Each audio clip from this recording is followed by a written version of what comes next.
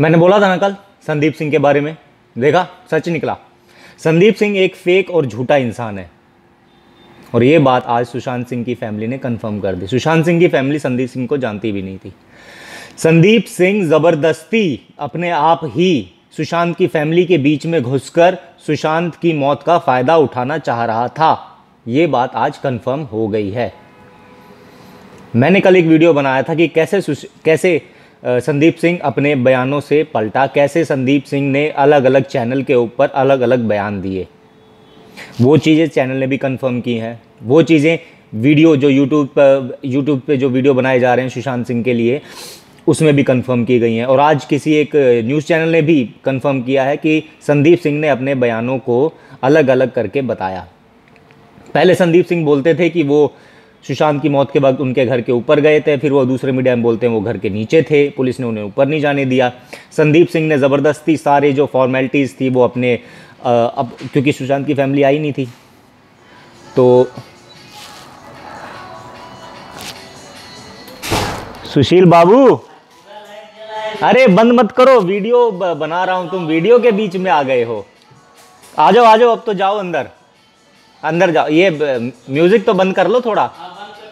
हाँ। सॉरी तो अंदर जाओ भैया। देख अरे घूम रहे हो। हाँ तो इससे पता चलता है कि संदीप सिंह जो बोल रहे थे उनकी कथनी और करनी में कितना फ़र्क है।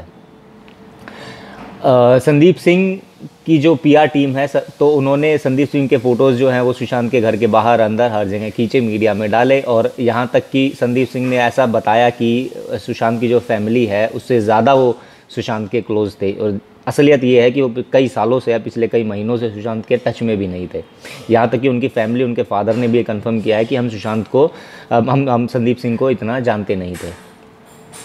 तो फिर क्यों कर रहा है संदीप सिंह इतना आगे आके बात कि, वो सुशांत के इतने करीब था कि वो उसे पता था कि सुशांत डिप्रेशन में है या नहीं है या, हमारी जो इंडस्ट्री है उसने उसके साथ कुछ गलत किया या सही किया।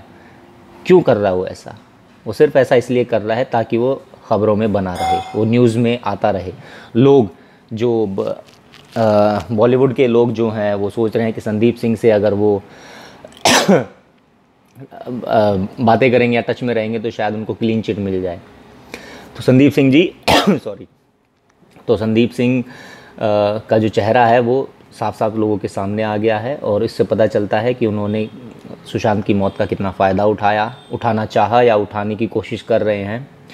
तो संदीप सिंह का ये चेहरा आप लोगों के सामने भी आ गया है कि वो ना ही इतना सुशांत के क्लोज थे और वो जो भी मीडिया में बाइस दे रहे हैं वो सिर्फ़ अपने फ़ायदे के लिए दे रहे हैं।